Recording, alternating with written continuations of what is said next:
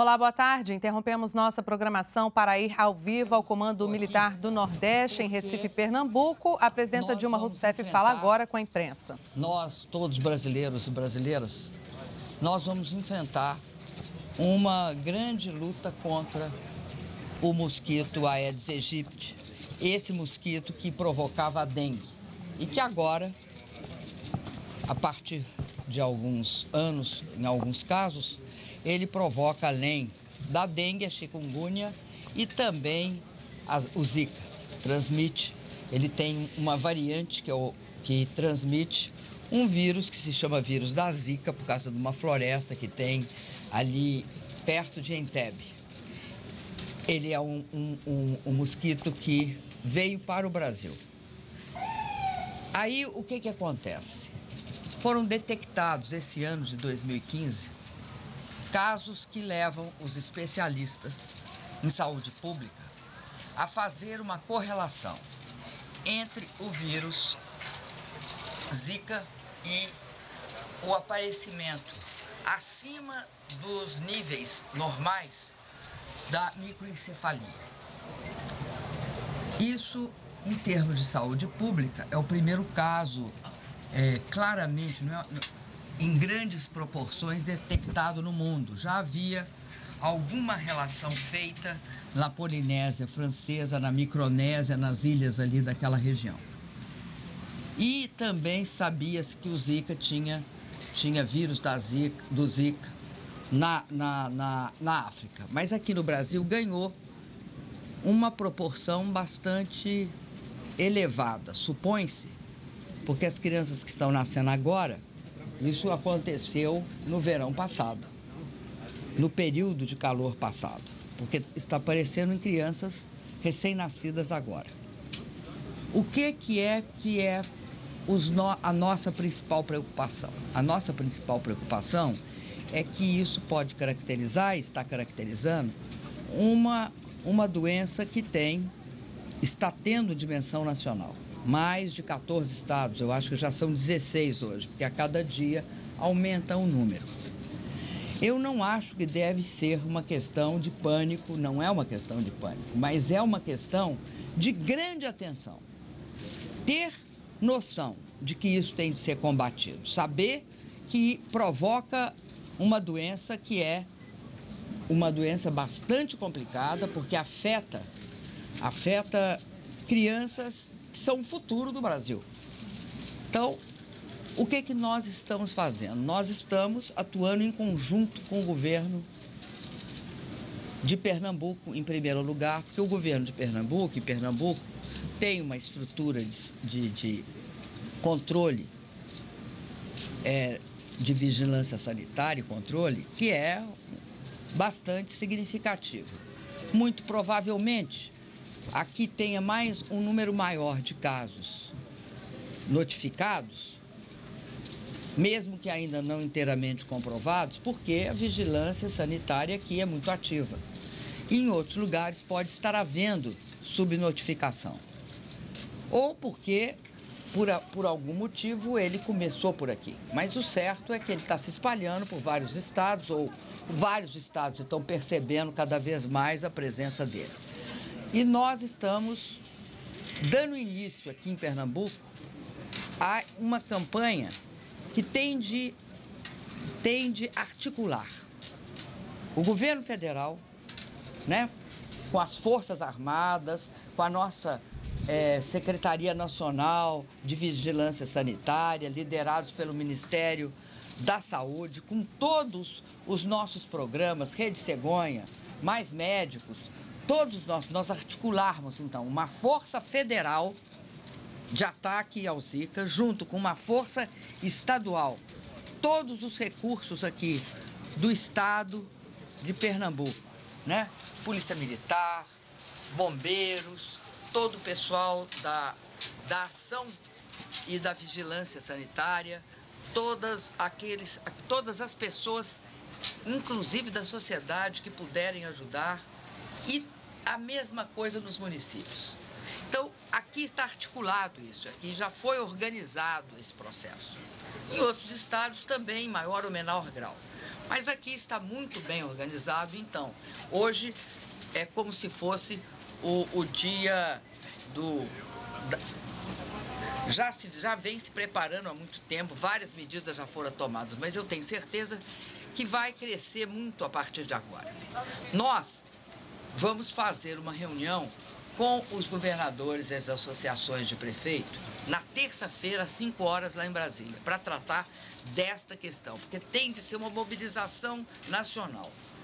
Essa mobilização nacional conta, para ela ser vitoriosa, conta, tem de contar, melhor dizendo, com a presença da população. A sociedade tem de se mobilizar. Para o quê? Para acabar com todos aqueles processos que levam a água parada. Quais são? Reservação de água tem sempre de ser tampada. Baldes com água tampados.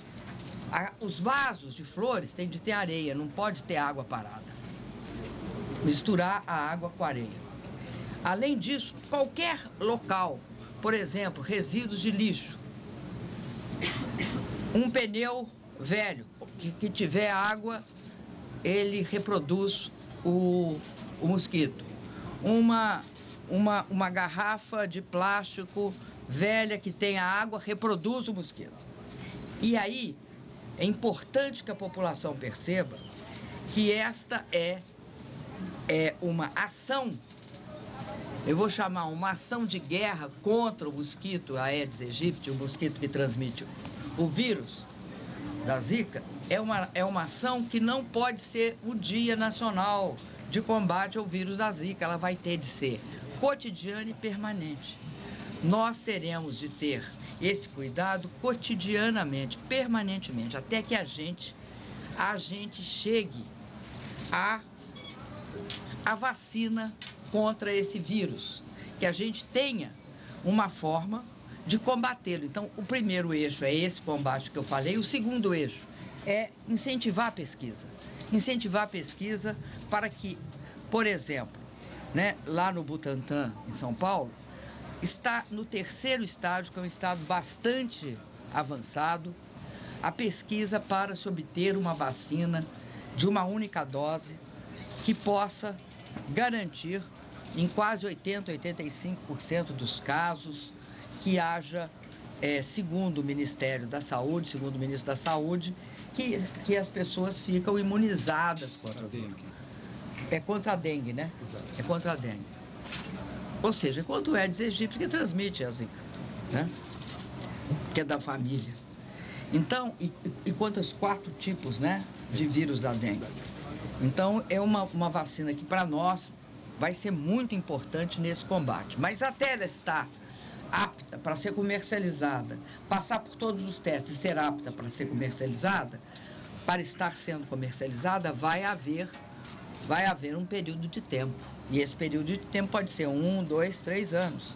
E nós vamos ter, de, neste ínterim, fazer uma grande mobilização, uma grande conscientização, uma presença de todos nós para evitar os processos de reprodução do mosquito porque o mosquito transmite, transmite essa doença porque ele, ele coloca um ovo, esse ovo tem o vírus que vai transmitir a doença. Ao mesmo tempo, nós temos o terceiro eixo, que é tratar das pessoas que tiveram a doença e ver como é que, como se trata e como se diagnostica, não só é, a dengue e a chikungunya, mas, sobretudo, o vírus da Zika, como as pessoas que já foram infectadas, como tratá-las e como garantir que elas tenham noção do que pode derivar disso, dessa infecção.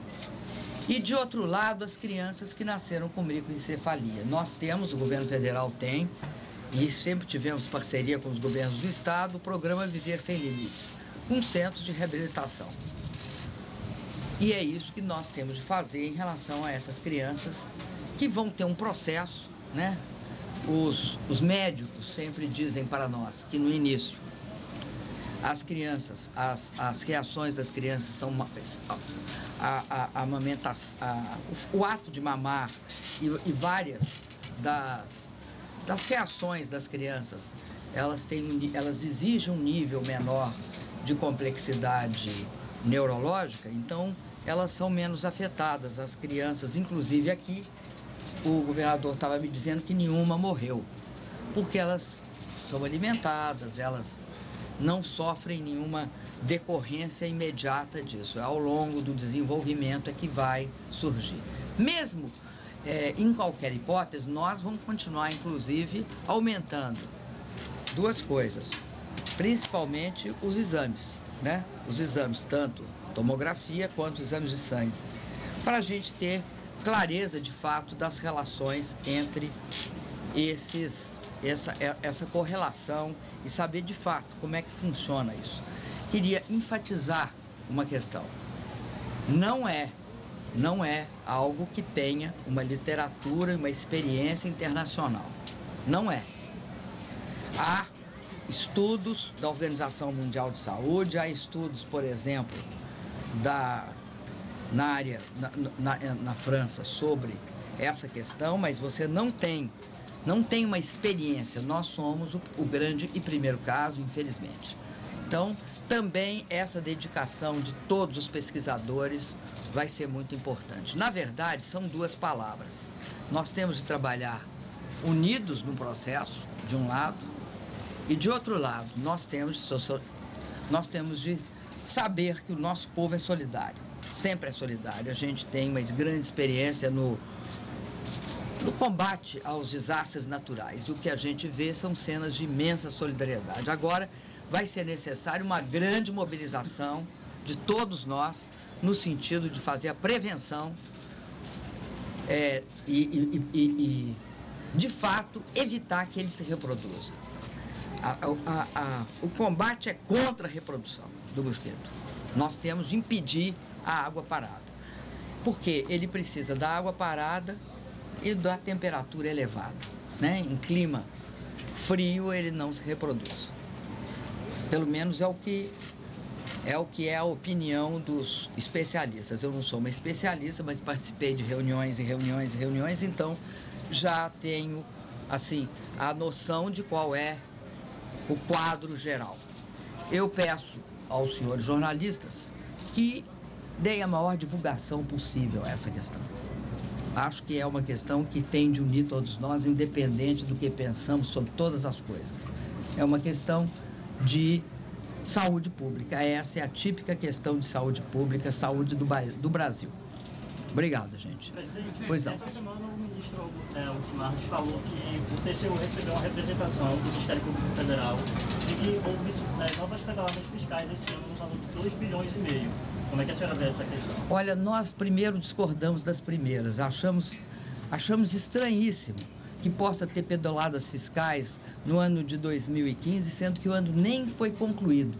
Então, é, é complexa essa questão da nossa relação com as opiniões do ministro Nardes. Não TCU, mas com o ministro Nardes nós temos algumas divergências de opinião. Mas vai ter dinheiro para Pernambuco. Pernambuco tem mais casos de microcefalia.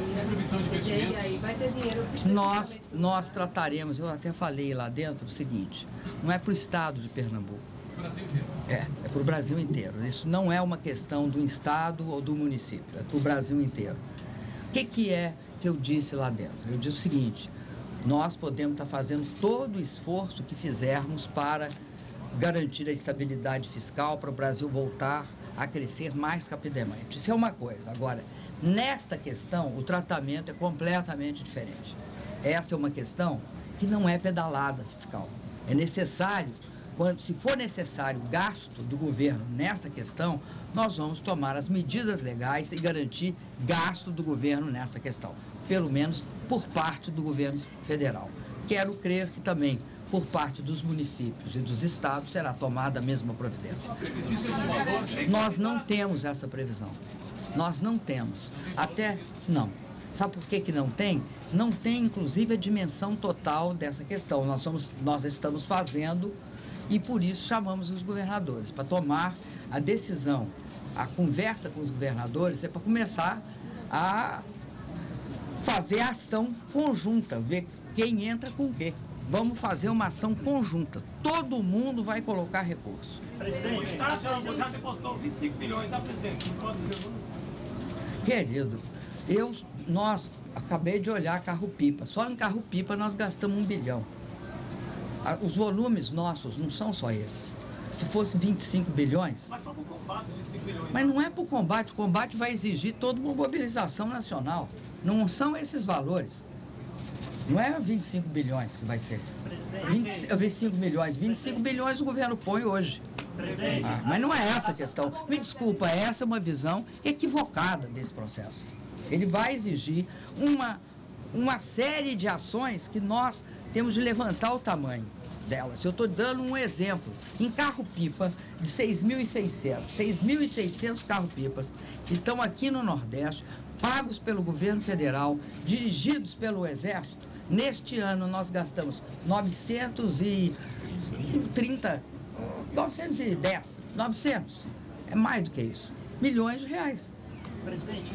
O governo federal lida com um nível de gasto mais significativo, assim, vamos dizer, mais significativo. Por isso é que a gente vai ter de fazer um esforço Presidente, bem grande. O ministro Eliseu Padilha ontem anunciou que vai deixar o governo e muito começou a se falar sobre qual lealdade a senhora pode esperar do vice-presidente Michel Temer. Queria saber, queria que a senhora analisasse essa saída do ministro e também saber a senhora qual a confiança que a senhora tem. Eu começo pelo seu fim, tá? Pelo fim da sua pergunta.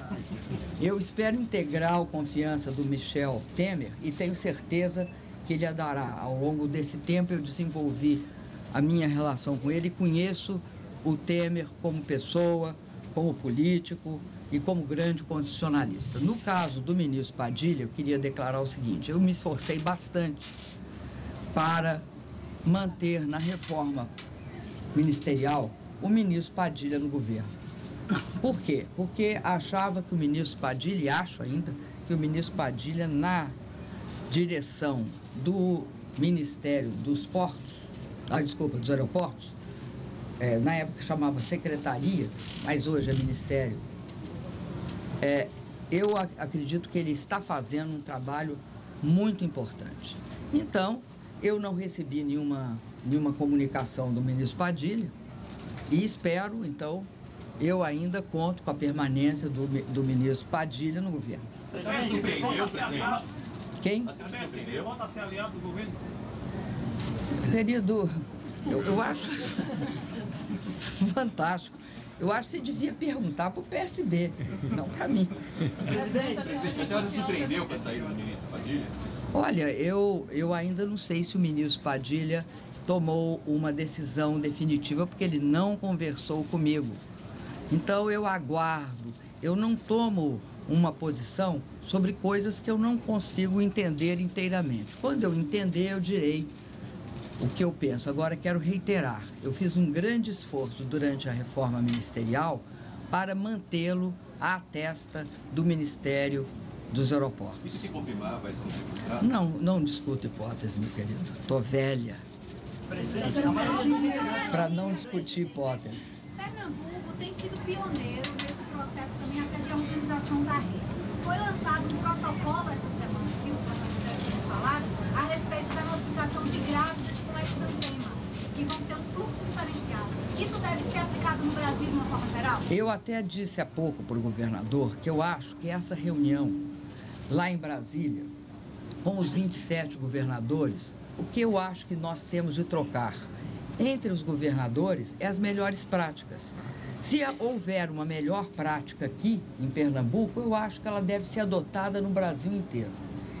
É, a gente vai ter de fazer esse processo de discussão, porque em todos os estados, esse processo de combate a, ao, ao chamado Aedes aegypti e, portanto, a dengue já vem se desenvolvendo há mais tempo.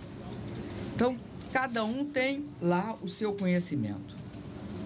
Tudo que for melhor prática, porque dessa vez é um combate, é, eu diria assim, é sem tréguas.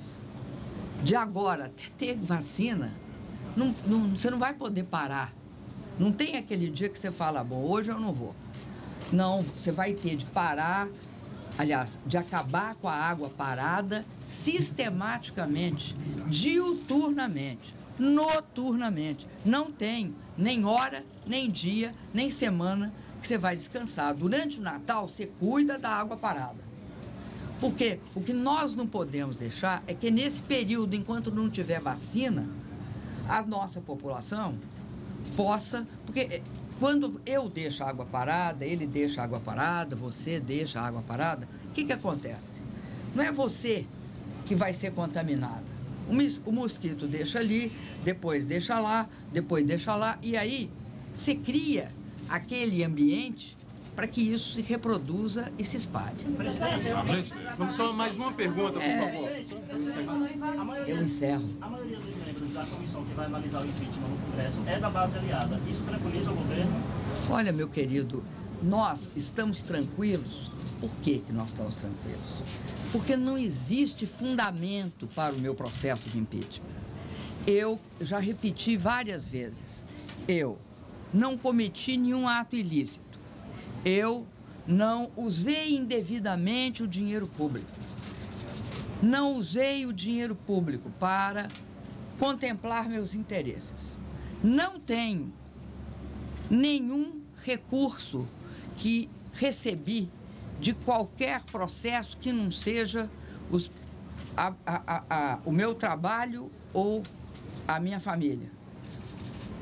Nunca depositei um dinheiro na Suíça.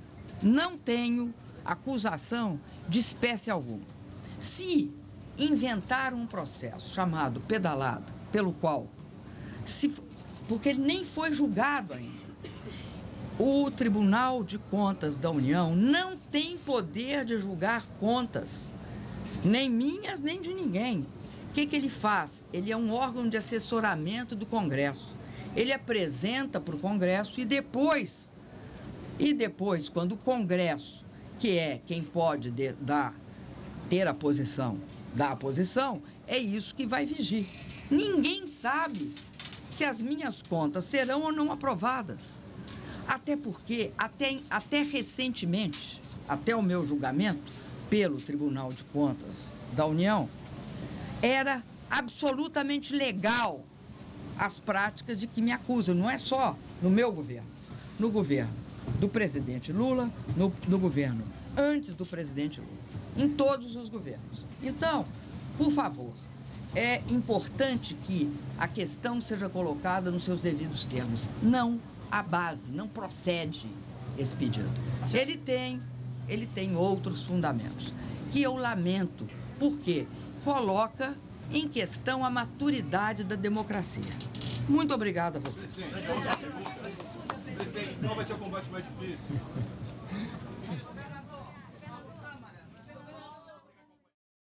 Você assistiu ao vivo do Comando Militar do Nordeste em Recife, Pernambuco, entrevista coletiva concedida pela presidenta Dilma Rousseff. Ela participou de uma reunião para definir as ações de enfrentamento do mosquito transmissor da dengue, que transmite também chikungunya e zika. Foi confirmada pelo Ministério da Saúde a relação entre o vírus zika e a microcefalia. Já são 1.248 casos suspeitos notificados de microcefalia no país. Pernambuco é o estado que apresenta apresentou o maior número de casos registrados e não existe vacina disponível nem tratamento para a infecção pelo vírus Zika. A presidenta Dilma Rousseff falou sobre a ação conjunta entre estados, municípios e a União para combater a propagação do vírus por meio do combate ao mosquito transmissor, que é o mesmo da dengue. A presidenta anunciou os três eixos do combate à microcefalia: mobilização e combate ao mosquito transmissor, atendimento ao paciente infectado e desenvolvimento tecnológico, educação e pesquisa. E nós podemos voltar a qualquer momento com outras informações. Continue com a gente, NBR, a TV do Governo Federal.